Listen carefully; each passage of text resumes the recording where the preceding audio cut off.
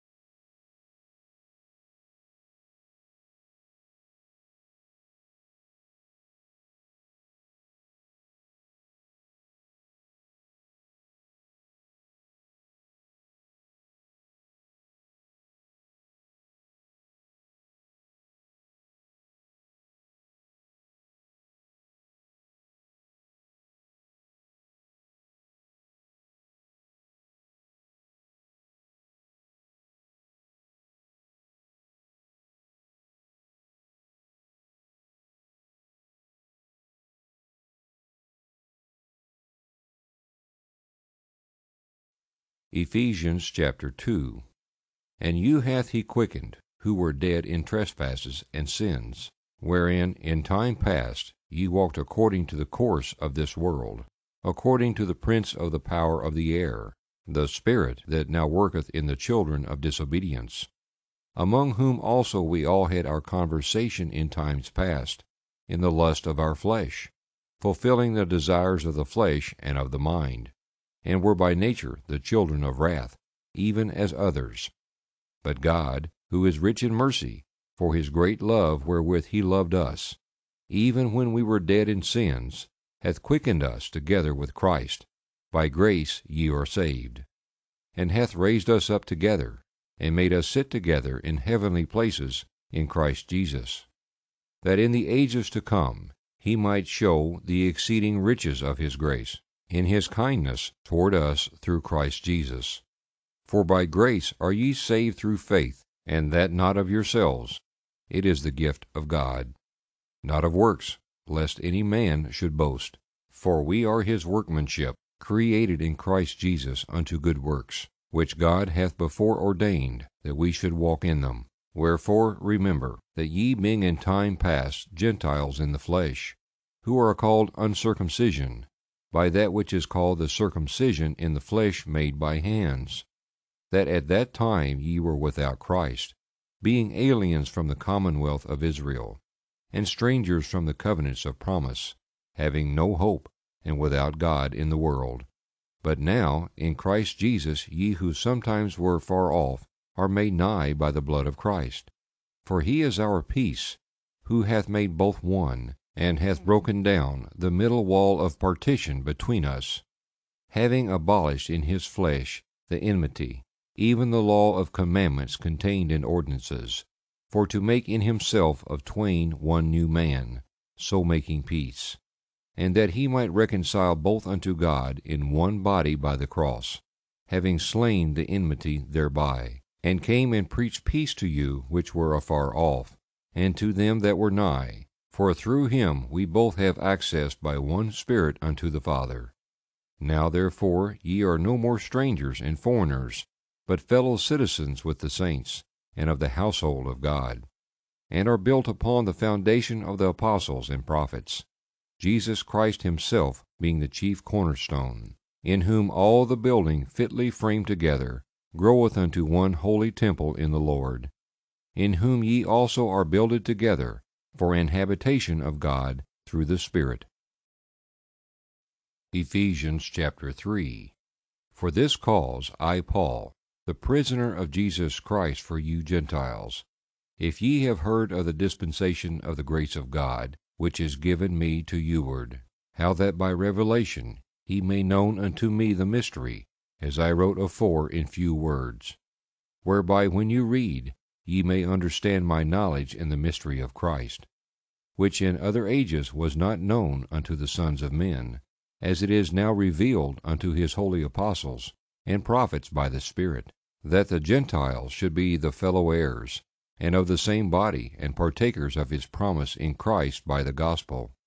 whereof I was made a minister, according to the gift of the grace of God given unto me by the effectual working of his power. Unto me, who am less than the least of all saints, is this grace given, that I should preach among the Gentiles the unsearchable riches of Christ, and to make all men see what is the fellowship of the mystery, which from the beginning of the world hath been hid in God, who created all things by Jesus Christ, to the intent that now unto the principalities and powers in heavenly places might be known by the church the manifold wisdom of God, according to the eternal purpose which he proposed in Christ Jesus our Lord, in whom we have boldness and access with confidence by the faith of him. Wherefore I desire that ye faint not at any tribulations for you, which is your glory. For this cause I bow my knees unto the Father of our Lord Jesus Christ, of whom the whole family in heaven and earth is named that he would grant you, according to the riches of his glory, to be strengthened with might by his Spirit in the inner man, that Christ may dwell in your hearts by faith, that ye, being rooted and grounded in love, may be able to comprehend with all saints what is the breadth, and the length, and depth, and height, and to know the love of Christ, which passeth knowledge, that ye might be filled with all the fullness of God. Now unto him that is able to do exceedingly abundantly above all that we ask or think, according to the power that worketh in us. Unto him be glory in the church by Christ Jesus throughout all ages, world without end. Amen.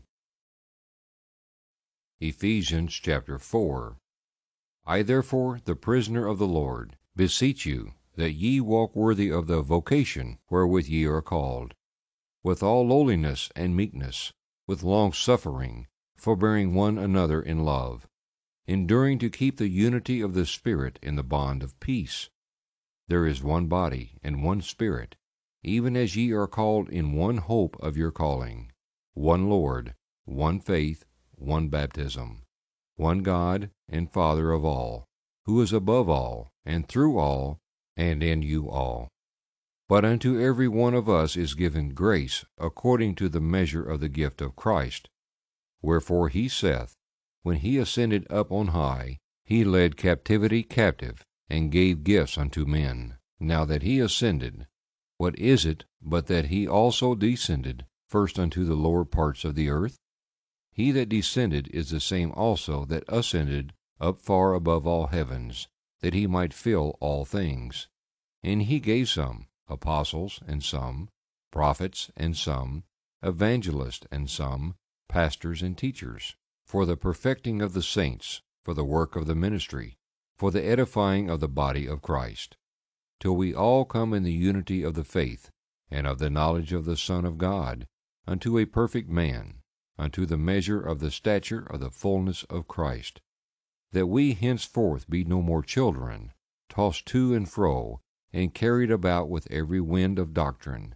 by the sleight of men, and cunning craftiness, whereby they lie in wait to deceive,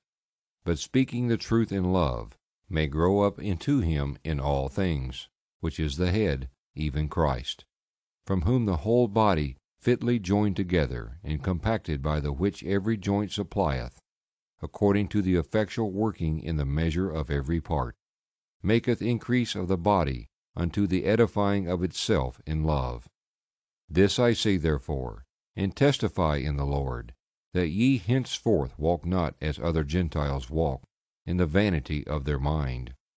having the understanding darkened, being alienated from the life of God through the ignorance that is in them, because of the blindness of their heart, who being past feeling have given themselves over into lasciviousness, to work all uncleanness with greediness. But ye have not so learned Christ, if so be that ye have heard him, and have been taught by him, as the truth is in Jesus, that ye put off concerning the former conversation the old man, which is corrupt according to the deceitful lust, and be renewed in the spirit of your mind,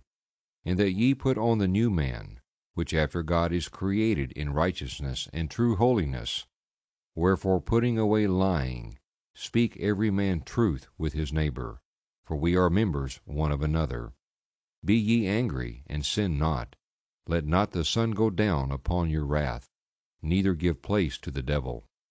Let him that stole steal no more, but rather let him labor, working with his hands the thing that which is good, that he may have to give to him that needeth. Let no corrupt communication proceed out of your mouth, but that which is good to the use of edifying, that it may minister grace unto the hearers. And grieve not the Holy Spirit of God, whereby ye are sealed unto the day of redemption. Let all bitterness and wrath and anger and clamor and evil speaking be put away from you with all malice. And be ye kind to one another, tender hearted, forgiving one another, even as God for Christ's sake hath forgiven you. Ephesians chapter 5 Be ye therefore followers of God, as dear children, and walk in love, as Christ also hath loved us and hath given himself for us an offering, and a sacrifice to God, for a sweet smelling savour. But fornication, and all uncleanness, or covetousness, let it not be once named among you, as becometh saints.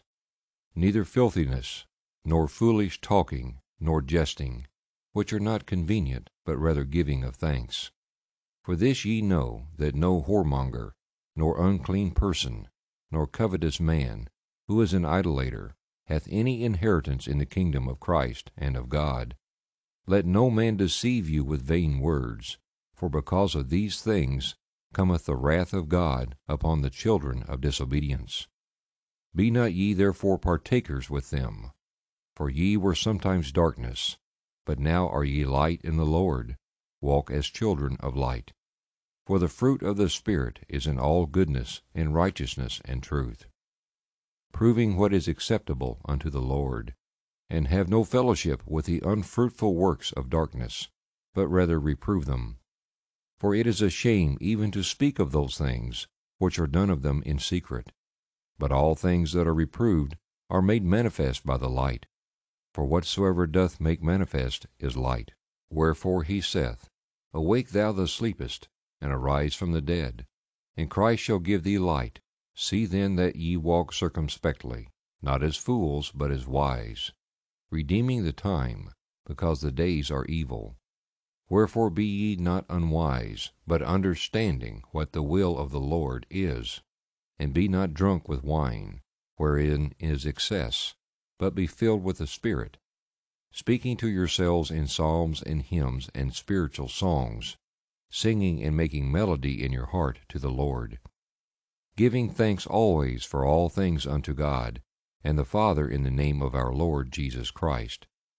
submitting yourselves one to another in the fear of God. Wives, submit yourselves unto your own husbands, as unto the Lord. For the husband is the head of the wife, even as Christ is the head of the church, and he is the Saviour of the body. Therefore, as the church is subject unto Christ,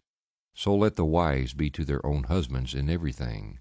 Husbands, love your wives, even as Christ also loved the church, and gave himself for it, that he might sanctify and cleanse it with the washing of water by the word, that he might present it to himself a glorious church, not having spot or wrinkle, or any such thing, but that it should be holy and without blemish. So ought men to love their wives as their own bodies. He that loveth his wife loveth himself. For no man ever yet hated his own flesh, but nourisheth and cherisheth it, even as the Lord the church. For we are members of his body, of his flesh, and of his bones. For this cause shall a man leave his father and mother, and shall be joined unto his wife, and they two shall be one flesh. This is a great mystery, but I speak concerning Christ and the church. Nevertheless, let every one of you in particular so love his wife even as himself, and the wife see that she reverence her husband. Ephesians chapter 6 Children, obey your parents in the Lord, for this is right. Honor thy father and mother, which is the first commandment with promise, that it may be well with thee, and thou mayest live long on the earth. And ye fathers, provoke not your children to wrath, but bring them up in the nurture and admonition of the Lord. Servants, be obedient to them that are your masters, according to the flesh, with fear and trembling, in singleness of your heart, as unto Christ not with eye service, as men pleasers, but as the servants of Christ, doing the will of God from the heart, with good will doing service as to the Lord and not to men, knowing that whatsoever good thing any man doeth, the same shall be received of the Lord, whether he be bound or free. And ye masters, do the same thing unto them, forbearing threatening, knowing that your master also is in heaven neither is there respect of persons with him. Finally, my brethren, be strong in the Lord, and in the power of his might. Put on the whole armor of God, that ye may be able to stand against the wiles of the devil. For we wrestle not against flesh and blood, but against principalities, against powers, against the rulers of the darkness of this world, against spiritual wickedness in high places. Wherefore take unto you the whole armor of God, that ye may be able to withstand in the evil day, and having done all, to stand.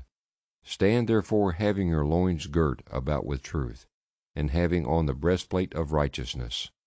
and your feet shod with the preparation of the gospel of peace. Above all, taking the shield of faith, wherewith ye shall be able to quench all the fiery darts of the wicked, and take the helmet of salvation, and the sword of the Spirit, which is the word of God praying always with all prayer and supplication in the Spirit, and watching thereunto with all perseverance and supplication for all saints, and for me, that utterance may be given unto me, that I may open my mouth boldly to make known the mystery of the gospel, for which I am an ambassador in bonds, that therein I may speak boldly, as I ought to speak, but that ye also may know my affairs, and how I do. Tychicus, a beloved brother and faithful minister in the Lord, shall make known to you all things, whom I have sent unto you for the same purpose, that ye might know our affairs, and that he might comfort your hearts. Peace be to the brethren, and love with faith, from God the Father and the Lord Jesus Christ. Grace be with all them that love our Lord Jesus Christ in sincerity. Amen.